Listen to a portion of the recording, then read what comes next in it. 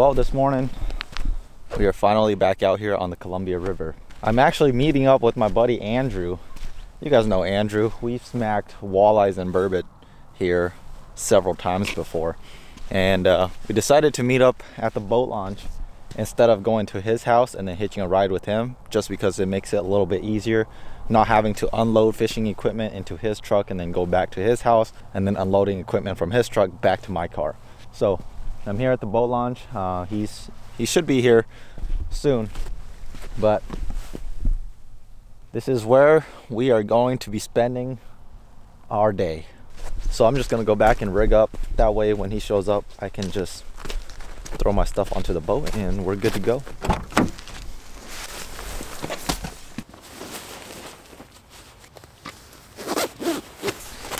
Need my wallet because my licenses are in there. Throw that right there. Fishing rod. Yeah, I got bottles, hand sanitizer everywhere. Don't mind the mess. Going on big water today, so gonna throw on my PFD. Never be too safe with a life jacket of some sort.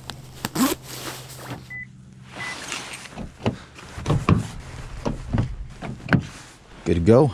Fishing rod, bag of equipment. Pretty good. Was running a little late this morning. Uh-huh. Was running a little late this morning. The water is super low. Yeah. Usually, usually it's like way up here. Wow. Yeah, look at this. The water's super low. This dock didn't even reach the water. Usually this dock is level with the water, but the thing with Lake Roosevelt is the water fluctuates so much. Usually it's a daily thing. Like if you guys look here, the water is way down here and it can be literally way up here in the middle or as you guys see here, way down shallow. Yeah, seems like you were busy cleaning fish. Just a little. Man, pretty good. Kai. Samong. Kai? Nice to meet you. Kai? Kai. Kai. K-A-I. Gotcha.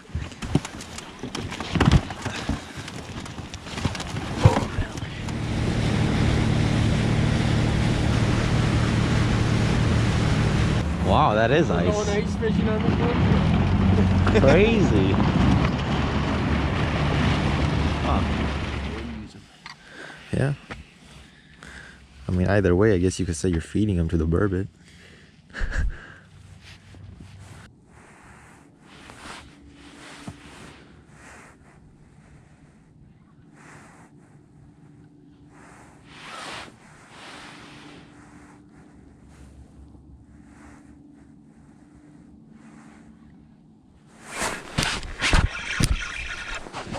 Got him.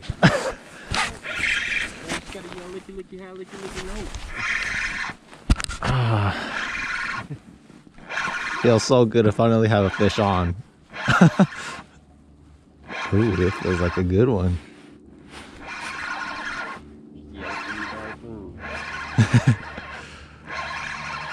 How deep are we?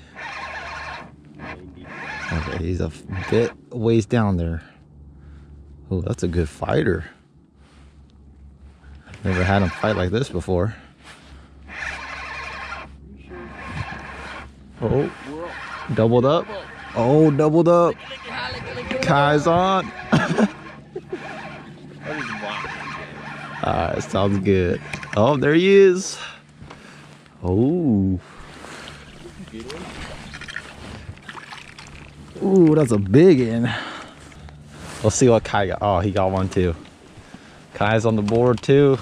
There it is. That's something I've been after for like the past three trips. That right there is called the burbot. But my piece of walleye is hanging out of his mouth.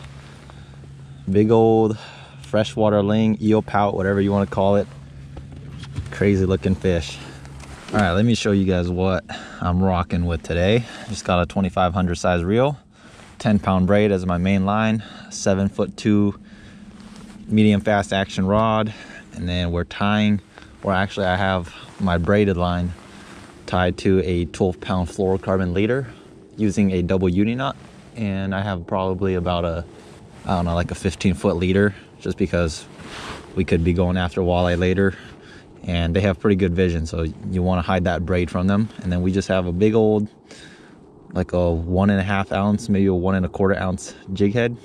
And then we have a plastic, soft plastic crawdad, and then we tipped it with some walleye meat that the guys got from yesterday's haul.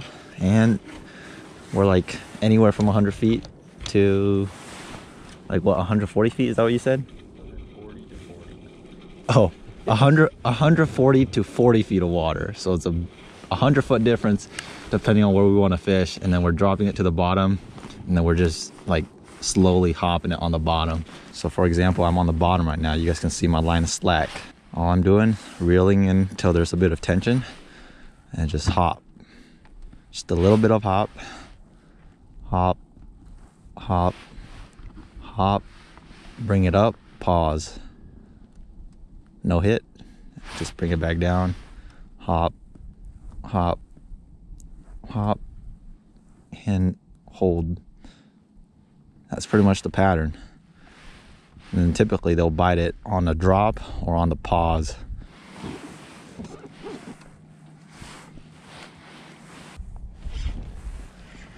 got him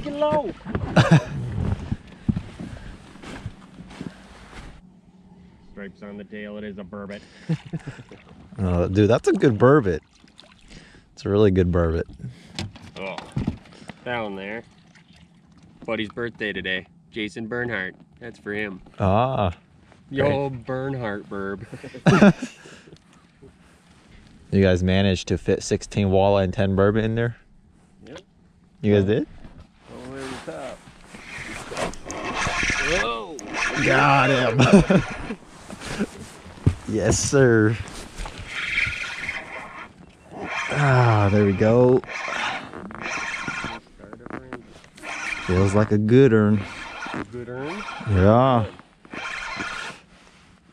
Got, got good weight. With ashes, I'm telling you. Got good weight to her. That's what you always want to feel. Just a heavy, heavy fish.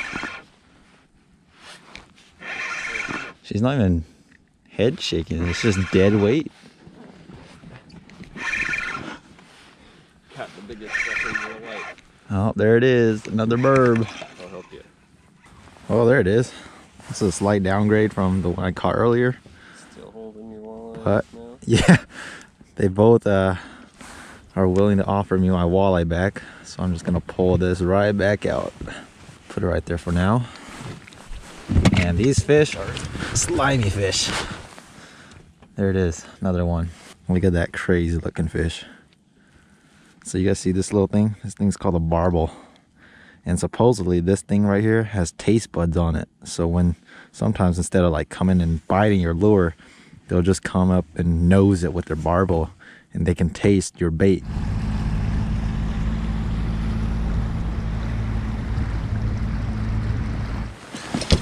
All right, well, downsized.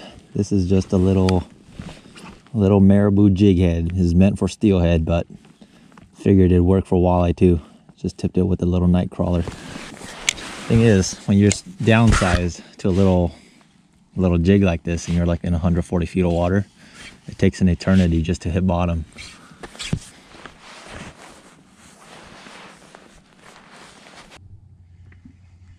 Might as well grab that. Oh, oh, he came off. he was just on there. I was touching my phone. Guess that's what I get. I was like, what the? It's so heavy. All right, change of plans. Went from a little jig to this thing called the bottom bouncer. As you guys can see, we're changing a lot of our tactics just to find these fish. So it's a good idea to come out here prepared or just find yourself a good friend like Andrew and let him prepare everything for you. So with the bottom bouncers, it's basically a trolling rig. So basically we're just letting our line go. And then once we get at the desired depth, then we're just gonna let the boat do its job of just moving us around. And then as the boat moves, that bottom bouncer will just move along and hopefully we run across some walleye and they can just bite and let us have some fun.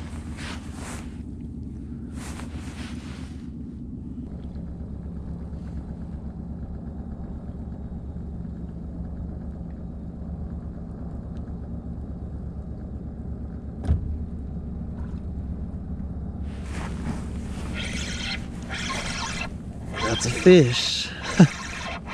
was fast. that was way fast. That was like two minutes probably.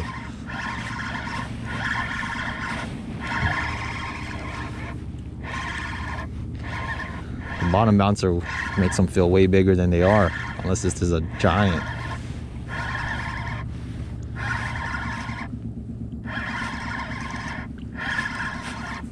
Jeez, how far are they down there?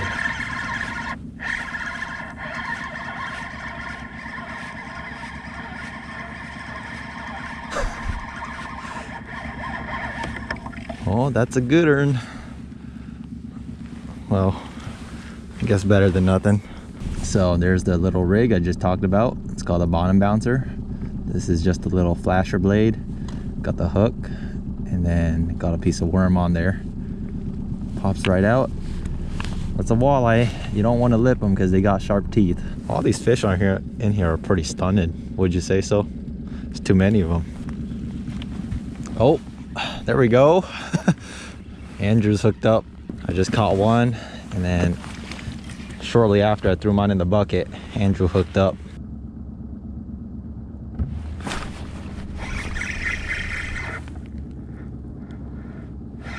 No idea if I have that fish on. Nope, no fish.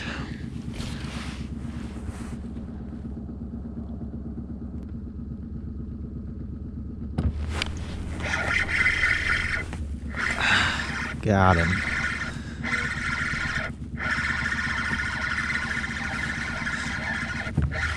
Fishing like, how deep are we? Like 140? Yeah, we're like in 130 feet of water and our line's like a little bit out there because we're trolling. And so it takes a while to get them back to the boat. It's always fun though because you get to fight them longer even though these walleye are just more like dead weight than like fighting. There it is.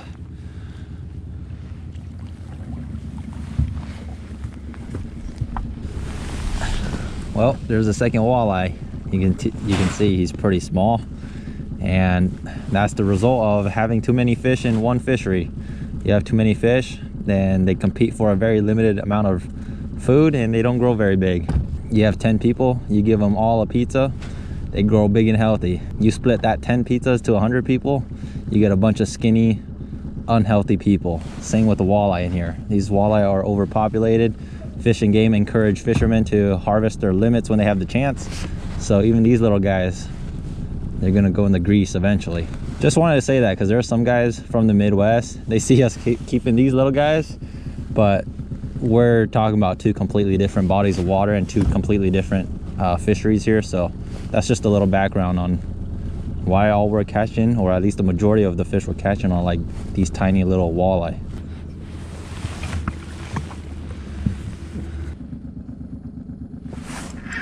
Got him that time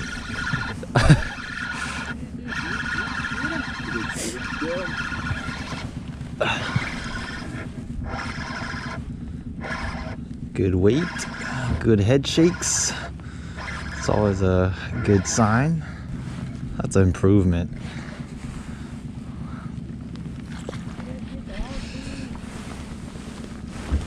Oh, my bad. Jeez, he engulfed it. You guys can see in there, their swim bladder pops out because they're coming out of the deep. But it's not too big of a concern because we're gonna keep them anyway.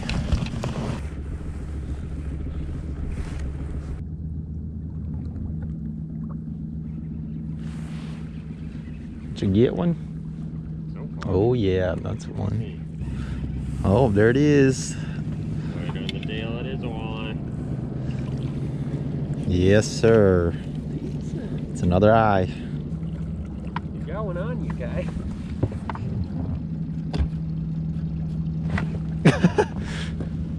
Dude, I see your bites about 10 minutes before you set the hook every time.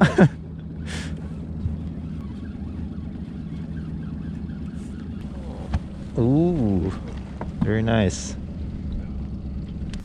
There's a deer crossing the river. It's literally in the middle of the river. That's the shore it came from. It's trying to get over there.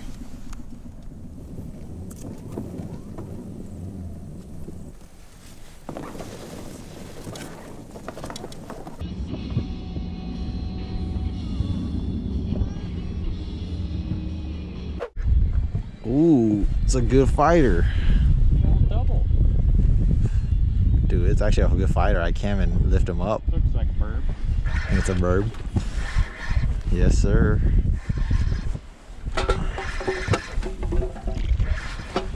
There's a walleye. This one's got really good weight to him. Yes, sir.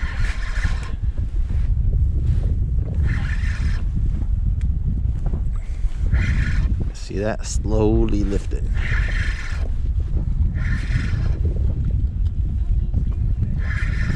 It's right there.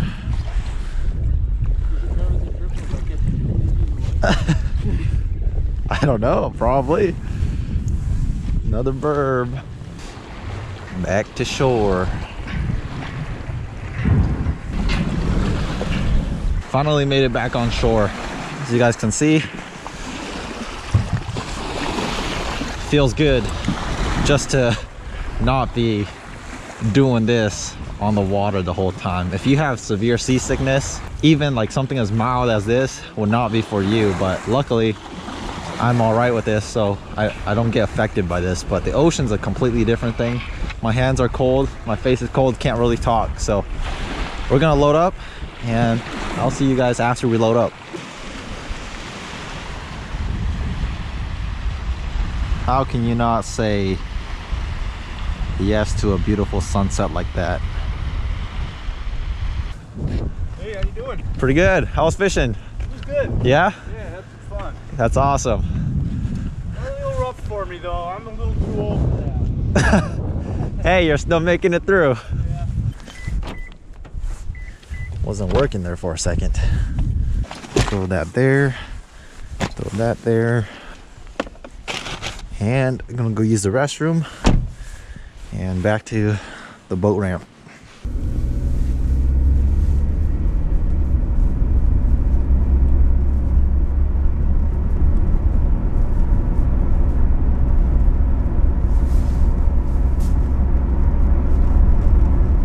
might as well just stop at a local campground and utilize these camping tables so that just makes my job to process the fish a little bit easier. So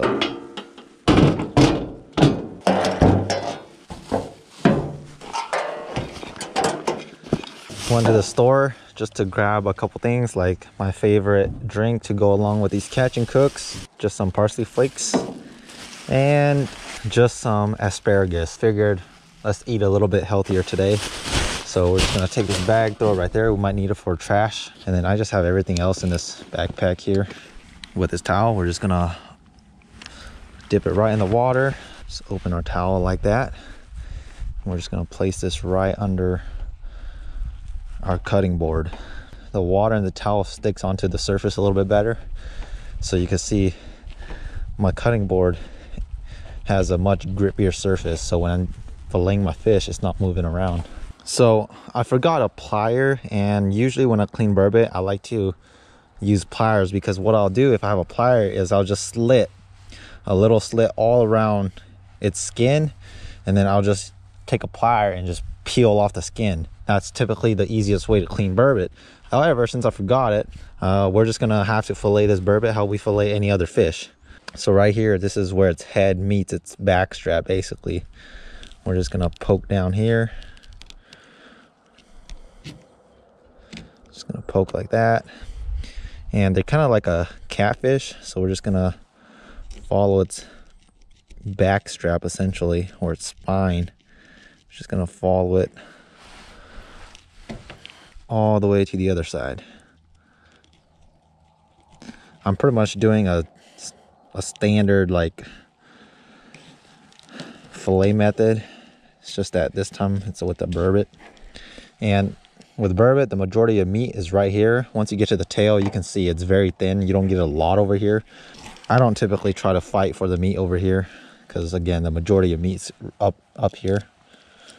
Once you get here, then it's just a matter of following the bone and just taking off the meat. It's not a race, so just always take your time. And burbot, they have a very uh, different kind of bone structure. I wouldn't say very, but just a slightly different bone structure than say like walleye. And I'll show you guys here momentarily once I'm done with this. So there you go. You can see you get the back strap and then you just get the tail over here. Typically with any other fish, what you end up with is you also end up with a little strip of meat right here. But with burbot, again, their structure is a little bit different. So I'll show you guys here why. Any other like fish, say panfish, what happens is you can fillet their meat over. And then once you get under the bones, you get a little bit of meat on the underside here too. But with burbot, their bone right here actually is like an almost like a 90 degrees. Here, it's just like a typical straight wall up here. But when you get to these bones right here, it like goes out at a 90 degree angle. So when you fillet it, you have to go straight down and then just straight out the other side. And so down here, this is what you would uh, consider your belly meat. So that's a completely different cut of itself versus the back strap here. So all we're doing now is we're just gonna do the same thing to the other side, just cut right behind its head. And then we're just gonna follow this bone right down. Oh, I missed it. Just gonna follow this bone. And again, just take your time doing it. Once you get past the belly, poke out your knife and just fillet the meat off the, the tail. And burbot, they're very slimy fish, so there we go. So again, you can see here, that's just bone. Once you get over here, then it's just a matter of filleting this piece of meat off.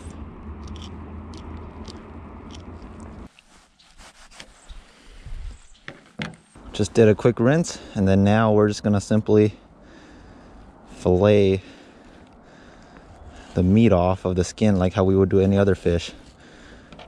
Just put your blade in between the skin and the flesh and just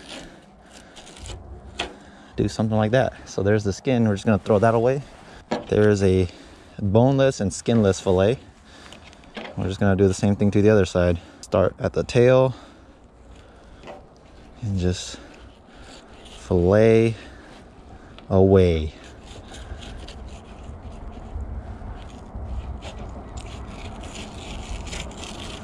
Boom. Throw that skin away.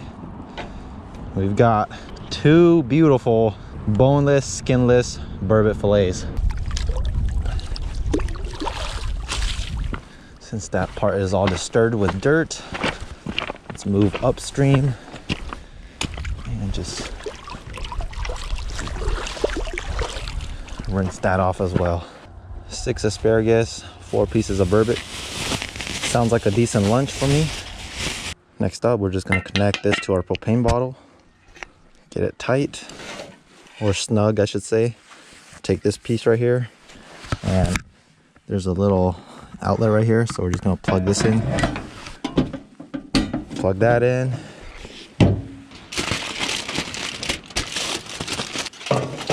leave that there. All we're gonna do for seasoning is we're just gonna salt it. I didn't even bring pepper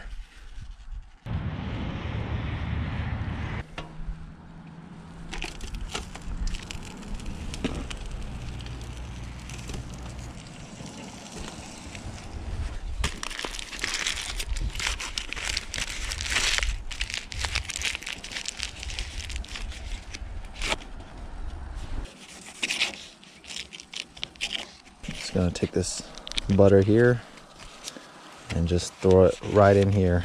We're gonna melt that later.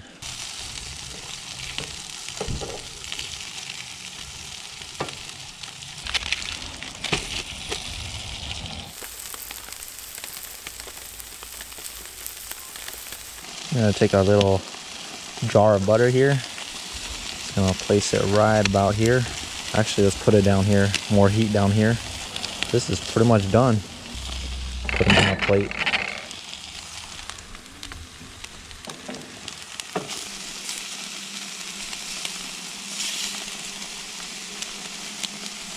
Look at that.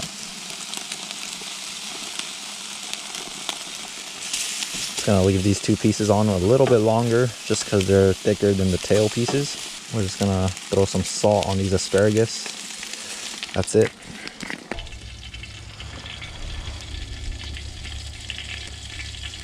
Just gonna drizzle it over our burbot. The reason why I'm eating this today is because recently I've been eating a little too unhealthy. So I figured, you know what? I need to get back on track and start eating healthy again. That's why I went like this. But yes, I'm still eating a lot of butter if you think about it. But that's besides the point. It's a lot healthier than what I've been eating. But what I want to show people is just more so of the burbot meat because a lot of people don't know what a burbot is. A lot of people consider burbot uh, a poor man's lobster, and it's for a good reason, but it still resembles more of a fish. I can see how people get the lobster thing, but for me, it's just a fish. Uh, just clean, white, flaky meat. And it's a little bit more hardy than, say, like walleye. Walleye, it's uh, pretty delicate meat, but burbot, like if you look at it, I actually have to use a little bit of force and it's still holding on. If that was walleye, it would have just fell apart and broke into two different pieces. But that right there is just burbot with salt and some butter. Let me silent my phone. There we go. Anywho, burbot, it reminds me more of tilapia versus lobster, but there is a resemblance in there. This is my punishment for eating out too much this past couple weeks. So I have to eat really healthy and really plain. Well, now I gotta clean everything. Clean up. Kind of happy that I brought this big old plastic bag